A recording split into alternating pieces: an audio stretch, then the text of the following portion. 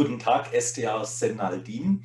Sie sind vor vier Jahren aus Syrien nach Deutschland gekommen, sind Kinderärztin, arbeiten derzeit im Impfzentrum des Landkreises Tübingen.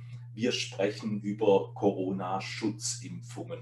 Wir, TÜ-News International, hören immer wieder von Sorgen Geflüchteter darüber, dass der Impfstoff nicht wirkt. Ja, äh, einige Menschen fühlen sich äh, verunsichert und Gerüchte über die Wirkung der, der Impfung halten sich hartnäckig. Äh, wir wissen, dass die Impfstoffe erst nach ausreichender äh, Überprüfung äh, auf den Markt gebracht wurden.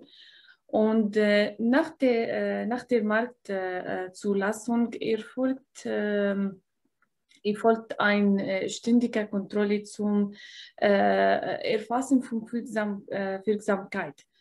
Äh, das bedeutet, diese Impfstoffe sind klinisch getestet und die Wirkung dieser Impfstoffe nach, Millionen, nach millionenfacher Anwendung wurde alles sicher festgestellt.